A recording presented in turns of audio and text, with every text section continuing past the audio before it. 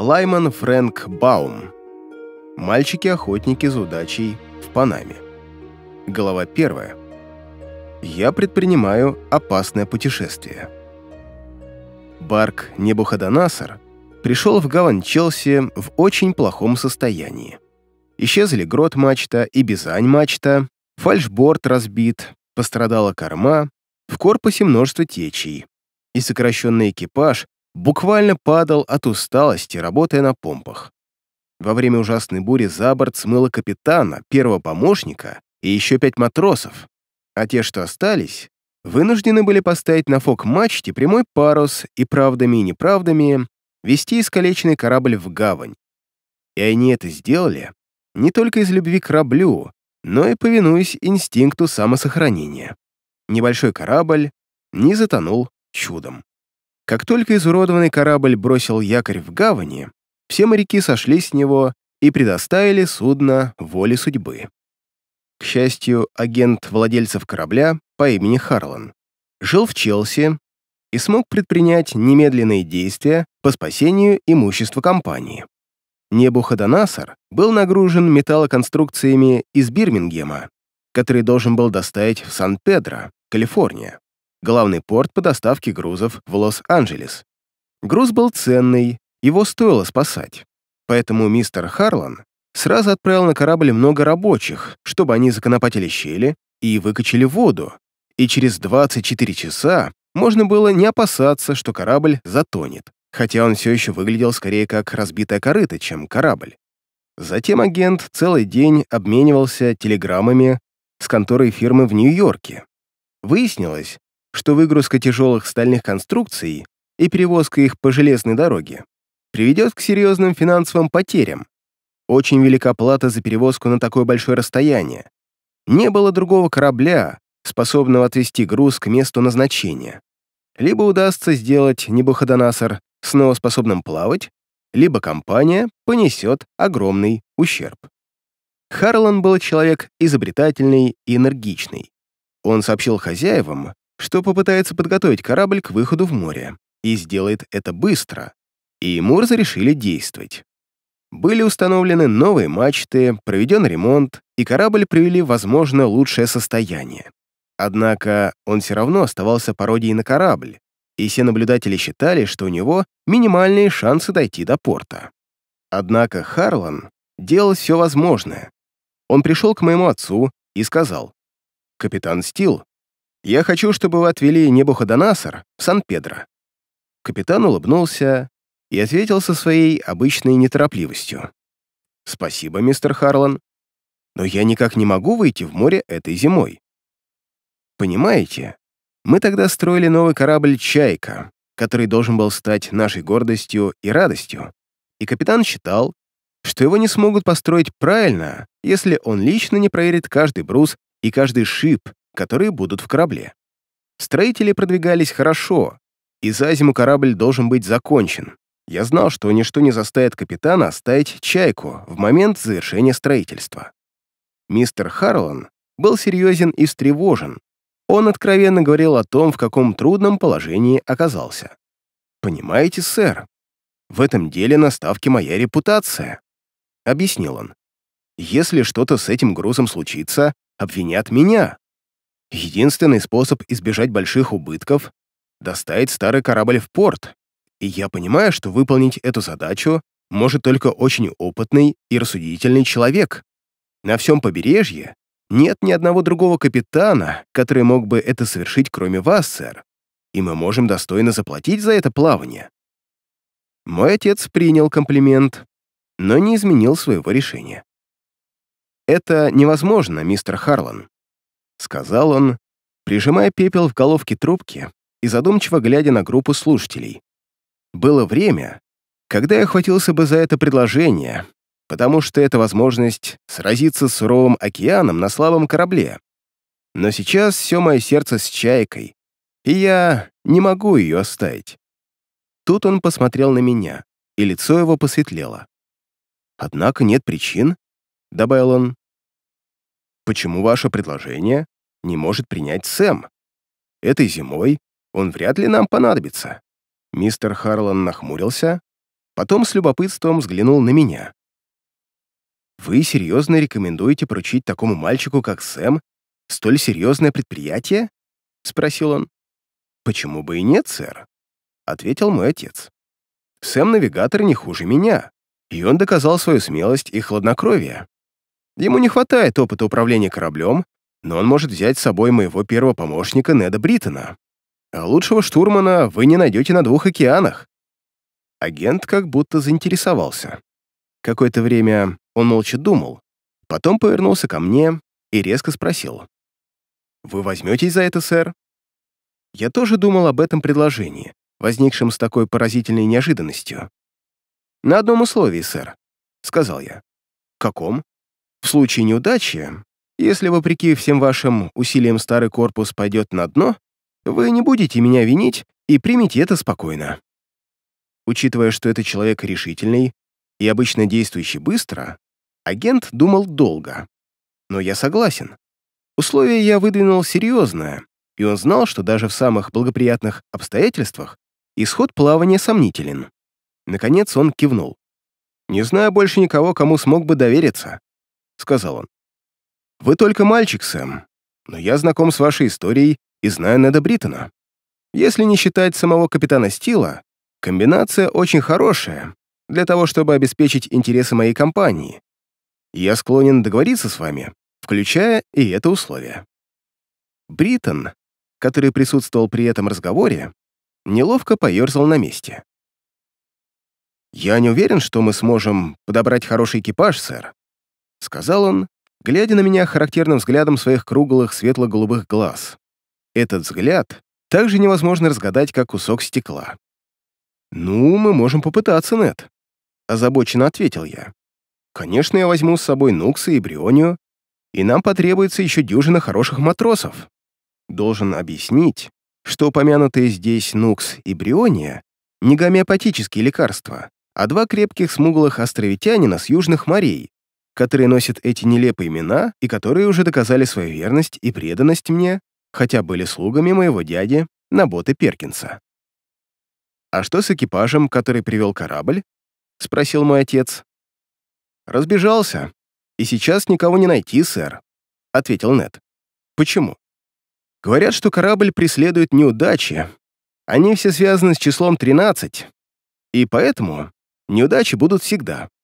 Как это? Ну, я разговаривал со вторым помощником, который привел корабль. Он сказал, что они отплыли от Ливерпуля в пятницу 13 числа. На борту было 13 человек, и это было 13-е плавание капитана, а в названии Небуходоносор 13 букв, и корабль спустили на воду 13 лет назад.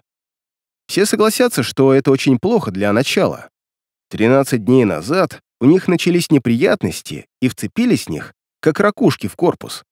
Ни за любви, ни за деньги. Вы ни одного из них не уговорите подняться на борт, сэр. Это несчастное перечисление вызвало холодок у всех, за исключением, может быть, мистера Харлана и меня. Я не суеверен по отношению к некоторым вещам. Больше того, Число 13 для меня скорее счастливое, но я хорошо знал, что моряки упрямы и пугливы. Поэтому я сказал агенту, закрасьте название Небуходоносор и замените другим, какой вам понравится. Сделайте это немедленно, до того, как мы начнем набирать экипаж. После этого Неду нетрудно будет подобрать людей. Я это сделаю, сразу сказал мистер Харлан. Назову корабль Гладис Ха в честь моей маленькой дочери. Это должно принести удачу». Нед одобрительно кивнул. Было очевидно, что эта мысль ему понравилась и устранила самое серьезное затруднение перед плаванием. «А теперь», — продолжал агент, — «необходимо обсудить условия». Условия оказались щедрыми, хотя должен сказать, что деньги не играли роли в моем решении согласиться участвовать в плавании. Я смог уже скопить достаточное состояние, часть которого пошла на строительство «Чайки». Я буду владеть третью этого корабля.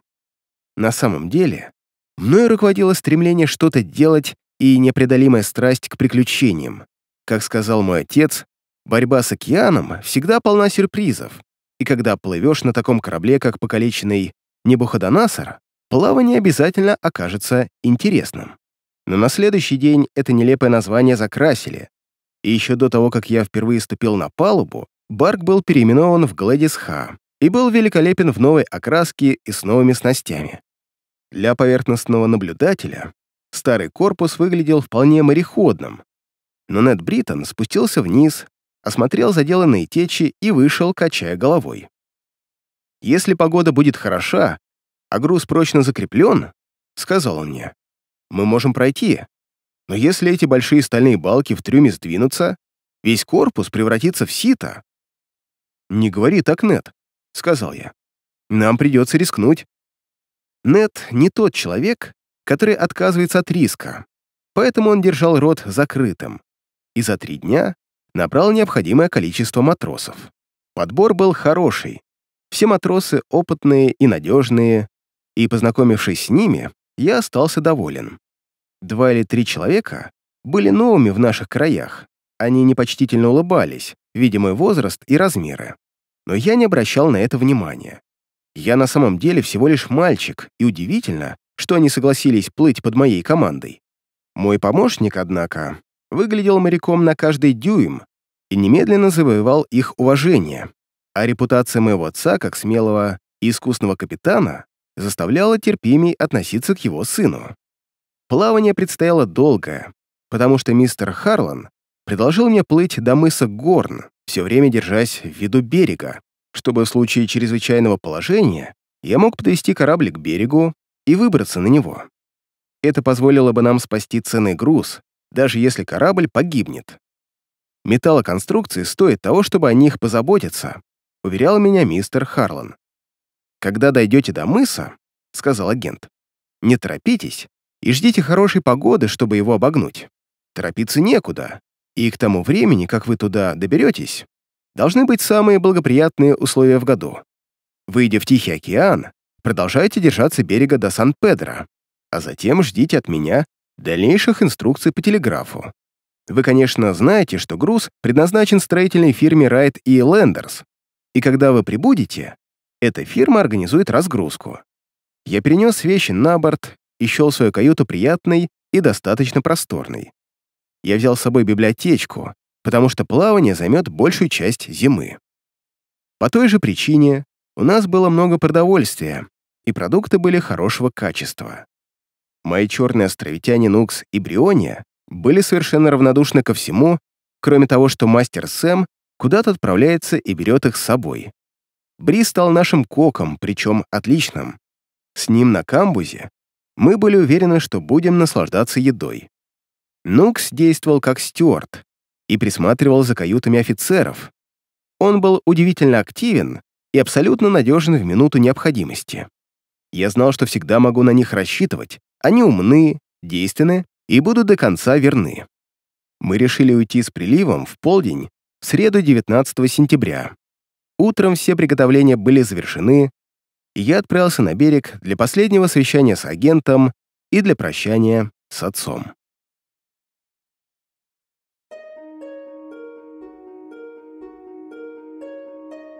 Глава вторая. Я перевожу необычного пассажира.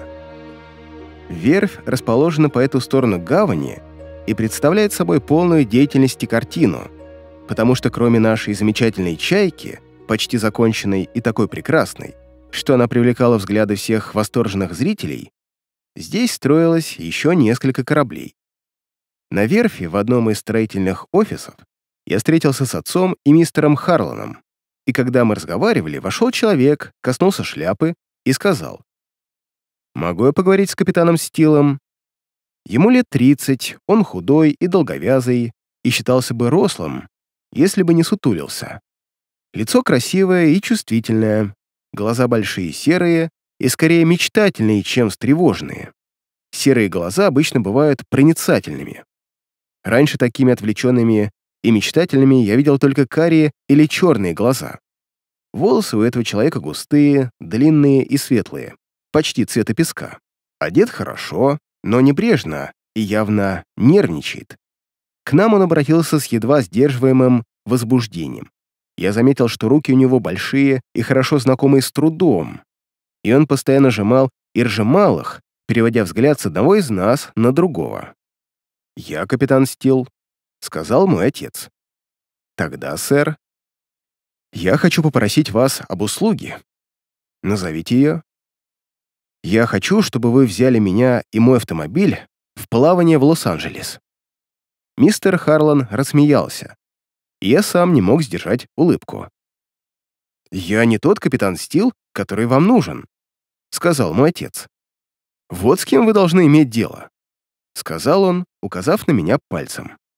Незнакомец повернулся ко мне, но к моему удовлетворению, казалось, нисколько не удивился, увидев мальчика. «Я прошу вас о большой услуге, сэр», — очень серьезно сказал он. «Прошу вас удовлетворить мою просьбу». «Автомобиль!» — воскликнул я. «Да, сэр». «Ваша просьба необычна», — сказал я, собираясь отказаться, но вежливо, потому что что-то в этом человеке было очень привлекательно. «Мы не пассажирский корабль, а медленное торговое судно, и плывем долгим маршрутом через мыс Горн. Время не имеет значения», — ответил он. «Важно только одно». «Что именно?» Расходы? Мы удивленно смотрели на него. «Позвольте мне объяснить», — сказал он, по-прежнему глядя на меня умоляющими глазами. «Я изобрел автомобиль. Ну, не совсем автомобиль, это правда. Но за неимением лучшего названия я его назвал так. Я годами экспериментировал и строил его. Это все дело моих рук и исключительно моего мозга. Сейчас он закончен во всех отношениях но я обнаружил, что истратил почти каждый доллар из своих скромных средств. Иными словами, сэр, моя машина привела меня к банкротству. Он замолчал, и я, уловив насмешливый взгляд мистера Харлана, сказал, «Это старая история, сэр. Вы в ней сомневаетесь?» «Нет, я хочу сказать, что это вполне естественно». «Может быть», — ответил он. «Видите ли, я не думал о деньгах, только об успехе. Но теперь, добившись, наконец, успеха, я видел, что мне нужны деньги. Мой единственный родственник — богатый дядя, живущий в Пасадене, Калифорния. Но у него такой эксцентричный характер, что если обращусь к нему за деньгами, он сразу откажет. Большинство богатых людей обладают такой же эксцентричностью, заметил я. Но в коммерческом отношении он гений, и если увидит мою машину, я совершенно убежден, что он даст мне денег. Мне нужно построить фабрику, производить машины и продавать их. Уверяю вас, джентльмены, — сказал он, обводя всех взглядом. «Моя машина замечательная, и это настоящее изобретение». Мы кивнули. А спорить такое скромное утверждение невозможно. Я хочу привезти свой автомобиль в Лос-Анджелес, причем как можно дешевле. Железная дорога требует за перевозку очень много, и у меня нет на это средств. Я случайно узнал, что ваш корабль идет в тот самый порт, которого я хочу достичь. Я поторопился сюда, чтобы попросить вас взять меня. У меня есть только 200 долларов. Последнее должен, с сожалением сказать, из моего скромного наследства. Если вы нас отвезете, я буду очень благодарен за вашу доброту. Мне стало жаль этого беднягу. Но я, вероятно, не смогу вас взять», — сказал я. «Мы уплываем сегодня, и все трюмы подготовлены к плаванию, а люки закрыты. Я не хочу ставить машину в трюм», — ответил он с необычным рвением. «Прошу только найти ей место на палубе, где она не будет мешать. Я сам ее закреплю и буду за ней присматривать, чтобы она не причиняла вам неприятностей. Боюсь, вы не успеете доставить ее на корабль вовремя. Она уже погружена на плоскодонку которая за час доставит ее на Гладис Ха, если у меня будет ваше разрешение». Я удивленно посмотрел на него. «Кажется, вы заранее решили, что получите разрешение». Чуть резко сказал я. «Нет, сэр. Дело совсем не в этом. Я не наглый человек, сэр, уверяю вас.